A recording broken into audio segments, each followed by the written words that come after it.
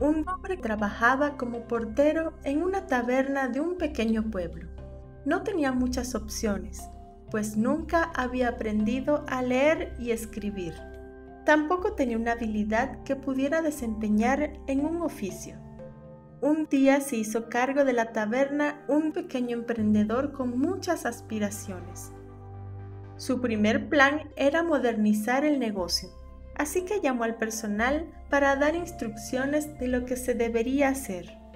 Cuando el portero entró en la oficina del joven gerente, éste le dijo, Le explicaré lo que debe hacer a partir de hoy. Usted deberá preparar un registro semanal de las personas que vienen y anotar sus comentarios y recomendaciones sobre el servicio. El hombre muy nervioso le respondió que no podría hacerlo, ya que no sabía leer ni escribir. Oh, lamento oír eso, dijo el joven. El hombre entendió lo que quería decir con eso. Sabía que sería despedido.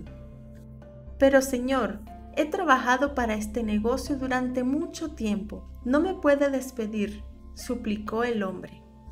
El joven lastimosamente le dijo, Lo siento, pero no puedo hacer nada. Necesitamos hacer cambios en el negocio y usted no está preparado para ellos. No se preocupe, le vamos a entregar una indemnización para que pueda mantenerse hasta conseguir otro trabajo. Le deseo mucha suerte. Sin más que decir, el hombre no tuvo otra opción que retirarse. Sentía que su mundo se derrumbaba, no sabía qué hacer. Nunca imaginó encontrarse en esa situación. ¿Qué puedo hacer? se preguntaba, hasta que recordó que, en la taberna, cuando se rompía alguna silla o alguna mesa, él, con un martillo y algunos clavos, lograba hacer un arreglo sencillo y provisional. Pensó que podría ser una ocupación de transición hasta conseguir un empleo. El problema era que no contaba con las herramientas que necesitaba. Decidió utilizar parte del dinero de la indemnización en comprar una caja de herramientas completa. Pero en el pueblo no había una ferretería, así que debía viajar varios kilómetros hasta el pueblo más cercano para realizar la compra. Pensó que no tenía más opción, por lo que emprendió el viaje. Al regresar tenía una nueva y completa caja de herramientas. Ese mismo día su vecino llamó a la puerta. Vecino, vengo a preguntarle si tiene un martillo que me pueda prestar.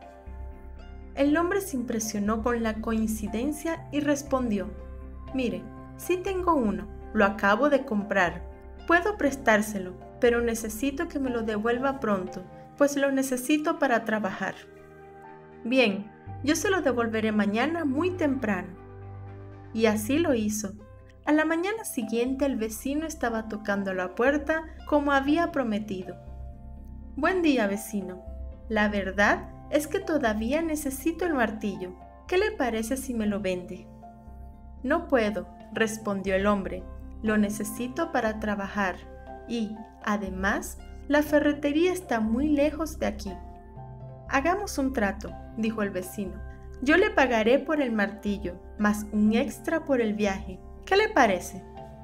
El hombre no tenía trabajo que hacer, así que aceptó.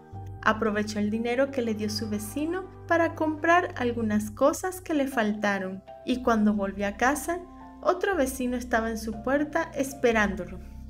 Hola vecino, ¿usted le vendió un martillo a nuestro amigo de aquí al lado? El hombre confundido respondió, sí, se lo he vendido. El vecino le explicó lo que quería. Necesito unas herramientas, pero no tengo tiempo para viajar. Estoy dispuesto a pagarle por ellas, más una buena ganancia. El exportero aceptó y trajo las herramientas que su vecino necesitaba en una caja. El vecino le pagó y se fue. El hombre se quedó pensando en lo que había pasado Seguro muchas personas en el pueblo no disponían de tiempo para comprar, así que se preparó para un siguiente viaje y esta vez arriesgó algo más de dinero para traer más herramientas de las que había vendido. De esta manera se ahorraría más en viajes. En poco tiempo la voz se corrió y muchos quisieron ahorrarse el viaje acudiendo al hombre que vendía las herramientas. El ahora comerciante empezó a viajar una vez por semana para comprar lo que sus clientes necesitaban. Incluso alquiló un local para guardar las herramientas y con algunos arreglos se convirtió en la primera ferretería del pueblo. Todos estaban satisfechos con sus servicios y como vendía tanto, los fabricantes empezaron a enviarle sus pedidos. Con el tiempo, las personas de pueblos cercanos preferían comprar en su ferretería. Un día se le ocurrió asociarse con su amigo el tornero para fabricar algunas herramientas, como martillos, tenazas, pinzas y cinceles. Con los años, aquel viejo portero se convirtió, con honestidad y trabajo, en un millonario fabricante de herramientas. Como muestra de agradecimiento con el pueblo, un día decidió donar dinero para construir una escuela. Allí se enseñaría, entre otras cosas, a leer y escribir. En el acto de inauguración de la escuela, el alcalde le agradeció al hombre por su aporte a la comunidad y estrechándole la mano le dijo, con gran orgullo y gratitud le pedimos que nos conceda el honor de poner su firma en la hoja de actas de la nueva escuela. El honor será todo mío, respondió el hombre. Nada me gustaría más que firmar allí, pero no sé leer ni escribir, soy analfabeta.